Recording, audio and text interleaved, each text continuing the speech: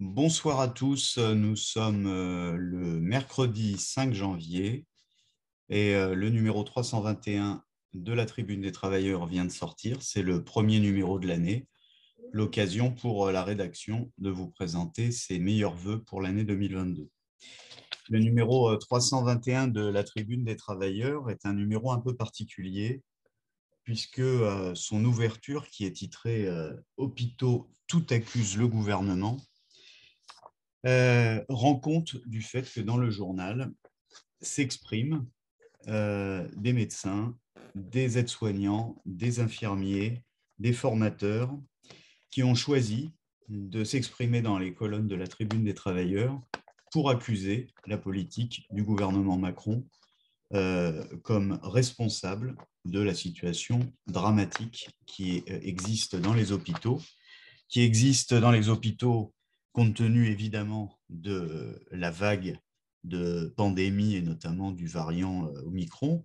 mais euh, également la situation dramatique qui résulte euh, pas seulement en fait de l'afflux de malades du Covid, mais qui résulte de toute la politique de ce gouvernement qui a supprimé des lits par dizaines de milliers, supprimé des postes, désorganisé, privatisé, liquidé des services entiers et euh, la Tribune des travailleurs a ouvert largement ses colonnes à euh, ces médecins, ces aides-soignantes, ces infirmiers qui euh, accusent. Parmi eux, vous le connaissez certainement, le porte-parole de l'Association des médecins urgentistes de France, le docteur Christophe Prudhomme, par ailleurs militant CGT, qui, parmi les actes d'accusation nombreux qu'il exprime contre le gouvernement, explique la chose suivante si on avait 8000 lits de réanimation, on ne serait pas obligé de déprogrammer. Oui, déprogrammer, euh, comme euh, la chronique euh, revient dessus, déprogrammer, c'est le terme très poli qui est utilisé par le gouvernement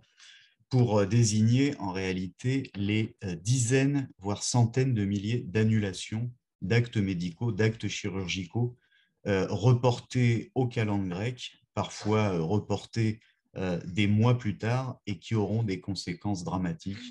pour des malades qui ne seront pas dépistés à temps euh, d'un cancer ou pour des malades qui attendent désespérément dans la souffrance une opération pourtant bénigne qui pourrait euh, les soulager. le docteur Prudhomme accuse si on avait 8000 lits de réanimation, on ne serait pas obligé de déprogrammer. Si en 2019, on avait largement ouvert les portes des écoles d'infirmières, on aurait aujourd'hui des infirmières disponibles. 10 ans pour former des médecins, ce n'est pas vrai euh, etc. Et comme beaucoup d'autres de ses confrères médecins ou euh, des aides-soignants ou infirmiers qui s'expriment dans le journal, euh, il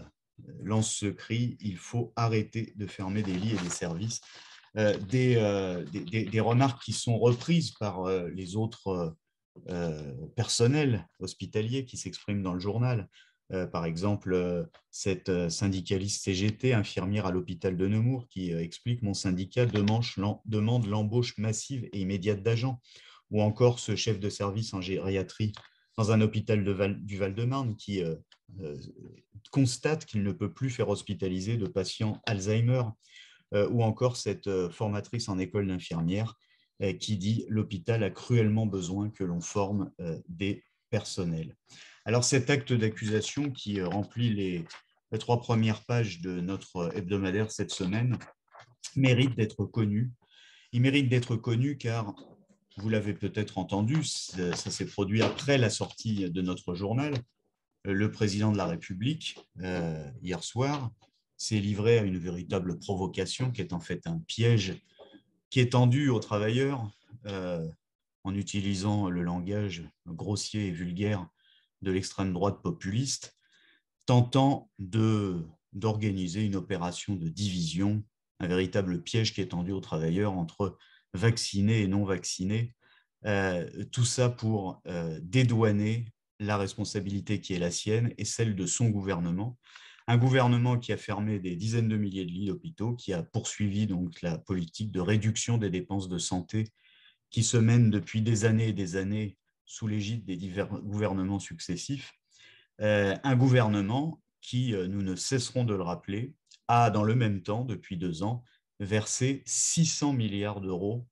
aux patrons et aux banquiers au nom de la relance de l'économie. 600 milliards d'euros pris dans les caisses des services publics, pris dans les caisses de la sécurité sociale, c'est-à-dire de l'argent qui appartient aux travailleurs, 600 milliards qui euh, ont servi à euh, engraisser encore plus les actionnaires et les capitalistes qui continuaient pendant le même temps à licencier à tour de bras. Euh, la responsabilité de ce gouvernement, elle est évoquée bien entendu dans un éditorial qui est titré cette saison et surtout la santé. Cette expression que l'on entendait jadis à partir du 1er janvier, quand les travailleurs se souhaitaient les uns les autres une bonne année et surtout la santé, eh bien la santé, c'est euh, la situation dramatique des hôpitaux de par la politique du gouvernement, mais par contre la santé, elle est au rendez-vous euh, pour ce qui concerne les capitalistes et les spéculateurs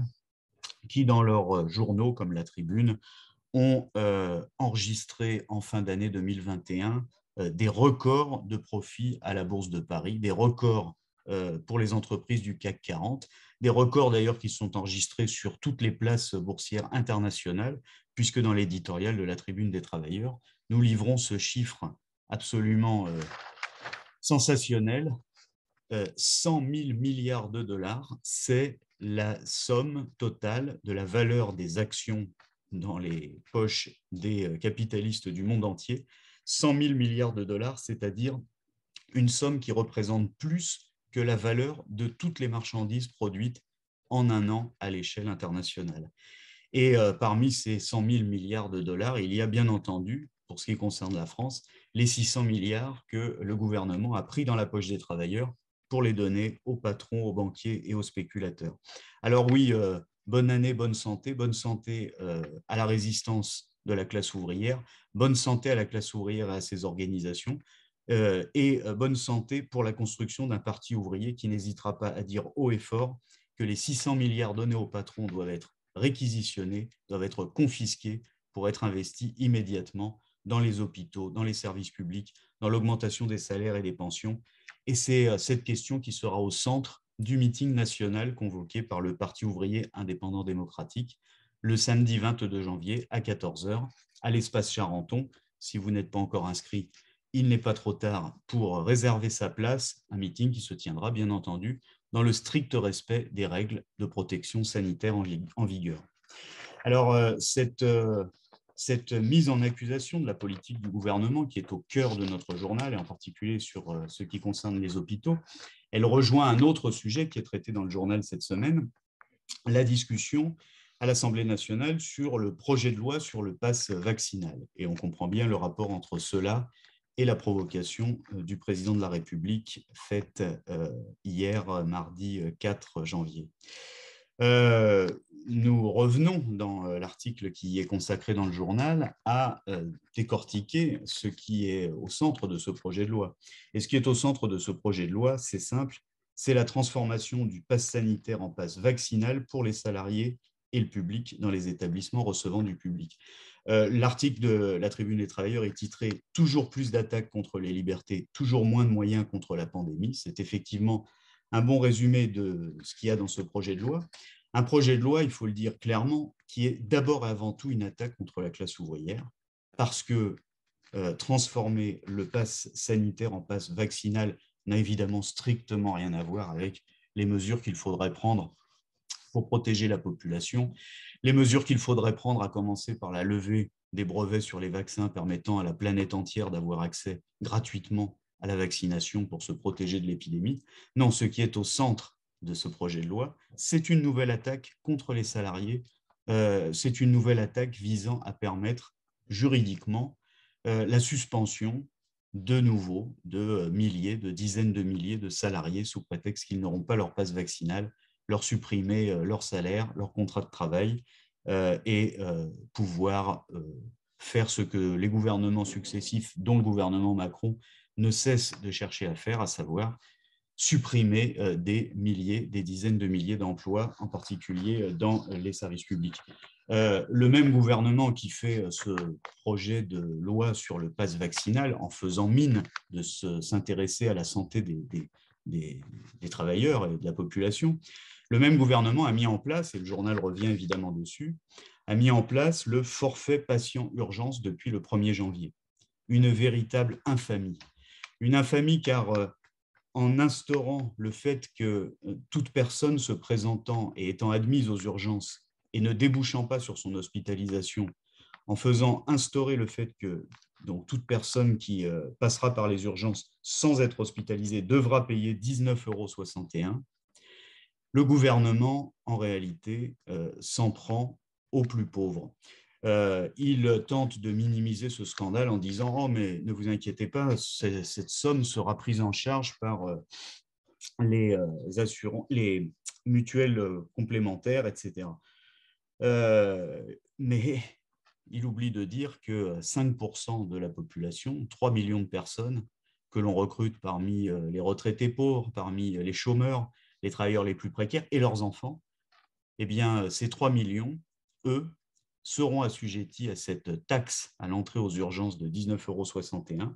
Et en réalité, l'instauration de cette mesure, dont le projet de loi de finances de la sécurité sociale estime et se félicite qu'il va permettre, euh, je cite, de réaliser 35 millions d'euros d'économies, en réalité, cette taxe à l'entrée aux urgences ne vise qu'à une chose, à décourager, à euh, faire renoncer aux plus pauvres euh, de pouvoir avoir accès aux soins, car on le sait, faute de médecins de ville, bien souvent, les travailleurs les plus pauvres sont contraints, en cas de soucis de santé, de fréquenter les services d'urgence. Alors, telle est la politique de ce gouvernement qui voit se dresser contre elle la lutte de classe. comme chaque semaine, la tribune des travailleurs revient sur la multitude de grèves en cours. Cette semaine en particulier, nous donnons la parole à des militants, des travailleurs euh, du groupe Carrefour, qui a connu ces dernières euh, semaines, comme de nombreuses euh, grandes chaînes de la grande distribution, de nombreuses grèves, de nombreux dévrayages. Un délégué central CGT de Carrefour s'exprime cette semaine dans le journal, de même que des grévistes du magasin FNAC à Nice qui étaient à 50% en grève le 24 décembre pour exiger, comme dans de nombreuses entreprises, des augmentations de salaire, l'amélioration des conditions de travail, refuser les licenciements.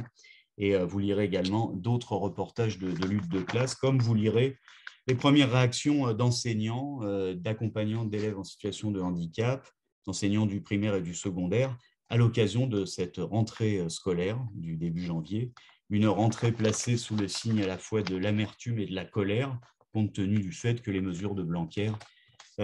comme celles de tout son gouvernement, euh, ne protège en rien les élèves et les personnels euh, de la circulation du virus. Euh, et c'est d'ailleurs une raison pour laquelle, dans le Val-de-Marne, les accompagnantes d'élèves en situation de handicap ont décidé de préparer la grève pour s'opposer aux conséquences de la politique du gouvernement pour exiger un vrai statut, un vrai salaire. La tribune des travailleurs en rencontre. Elle rencontre également des, questions qui sont posées chez les étudiants. Dans la page des jeunes cette semaine, nous revenons sur le nouveau plan euh, visant à accentuer la sélection et à diminuer les moyens dans les universités à travers euh, le plan accès en master. Et c'est l'occasion pour euh, des étudiants de la Fédération des jeunes révolutionnaires de s'exprimer dans le journal sur la nécessité d'exiger, qui se fait jour de plus en plus dans les universités à l'occasion des, fameux partiels, d'exiger des conditions d'égalité entre tous les étudiants et des examens loyaux car euh, la circulation du virus euh, se produit également euh, parmi les étudiants. Et dans ces conditions, la question qui est posée avec angoisse par que se pose avec angoisse des, centaines de milliers d'étudiants, c'est dans quelles conditions allons-nous passer nos examens Les jeunes de la Fédération des jeunes révolutionnaires donnent leur point de vue dans les colonnes de la tribune des travailleurs. Cette semaine également, dans la rubrique des problèmes du mouvement ouvrier, nous revenons sur euh, les euh, questions qui sont posées aux militants euh, ouvriers, aux militants syndicaux et en particulier cette fameuse nouvelle convention collective imposée par le patronat dans la métallurgie. La discussion se mène dans les organisations syndicales sur faut-il accepter ou pas cette nouvelle convention collective et des militants, comme c'est le cas chaque semaine dans notre journal, donnent leur point de vue pour contribuer au libre débat nécessaire dans le mouvement ouvrier pour surmonter l'ensemble des difficultés, des obstacles qui sont euh, dressés par euh, le patronat et le gouvernement. La tribune des travailleurs, c'est bien entendu euh, l'actualité internationale. Cette semaine,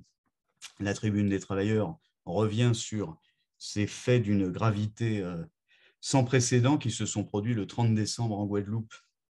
lorsque les forces de l'ordre, dans un véritable acte de répression coloniale, ont arrêté dans des conditions scandaleuses le responsable de lianage contre profitation et l'ancien secrétaire général de l'Union générale des travailleurs de Guadeloupe, Elie Domota, euh, plaqué au sol, gazé, euh, violenté, mis en garde à vue, euh, alors qu'il ne fait que exprimer la volonté ultra-majoritaire des travailleurs et du peuple guadeloupéen à travers le collectif des 30 organisations qui, depuis début septembre, a déposé au préfet représentant du gouvernement Macron une plateforme de 32 revendications ouvrières populaires correspondant aux besoins de la population travailleuse de Guadeloupe.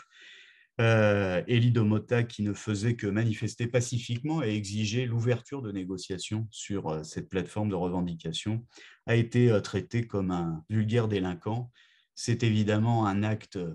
euh, scandaleux du gouvernement français qui piétine les libertés démocratiques et les libertés syndicales dans cette possession coloniale française qui est la Guadeloupe la tribune des travailleurs, qui est aux côtés des opprimés à l'échelle internationale, exprime à travers le communiqué euh, du secrétaire national du Parti ouvrier indépendant démocratique, Daniel Luxten, que nous publions dans ce journal, la solidarité complète de notre parti avec Elido Mota, le LKP, l'UGTG et les organisations euh, du peuple euh, guadeloupéen qui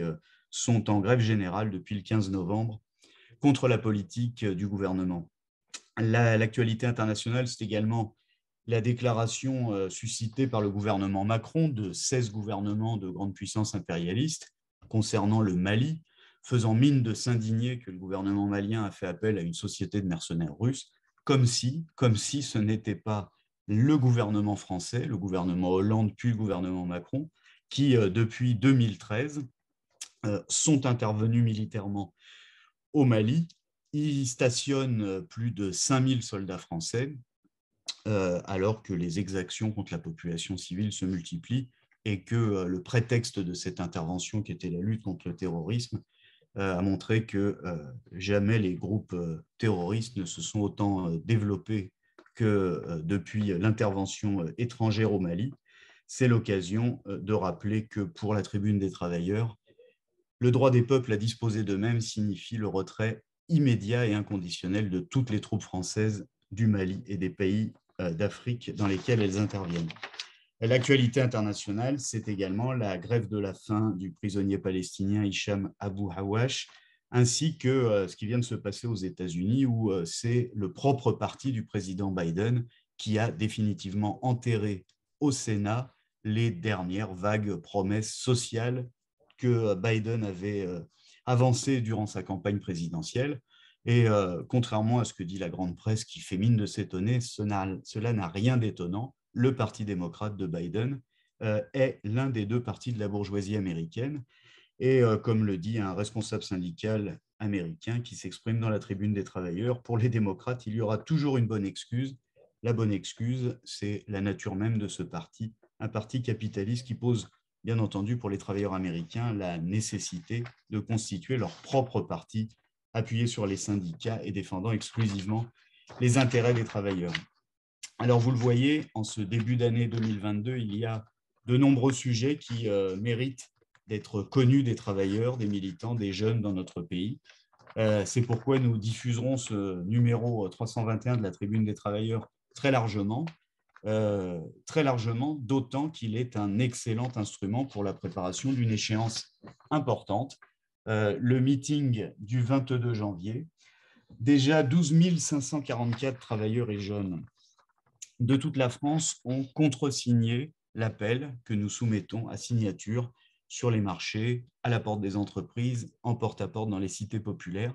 un appel du Parti ouvrier indépendant démocratique qui affirme que les 600 milliards qui ont été donnés aux patrons et aux banquiers par le gouvernement Macron depuis deux ans doivent être immédiatement réquisitionnés, réquisitionnés pour être immédiatement affectés aux hôpitaux, immédiatement affectés à l'école publique, aux services publics, à l'augmentation des salaires et des retraites, à l'augmentation des minima sociaux. Oui, ces 600 milliards doivent être repris aux patrons et aux banquiers. Et pour cela, il faudra bien la mobilisation de millions et de millions qu'il imposera comme elle imposera un gouvernement au service de la majorité travailleuse, la majorité qui euh, ne peut vivre que de son travail. Et pour cela, il faudra bien construire un instrument pour le faire, un véritable parti ouvrier. Ces questions seront au centre du meeting national du Parti ouvrier indépendant démocratique du 22 janvier. Et la tribune des travailleurs est un excellent euh, instrument pour préparer cette échéance dans les quelques jours qui nous séparent du meeting national. Rendez-vous la semaine prochaine pour le numéro 322 de la Tribune des Travailleurs. Bonne soirée à tous.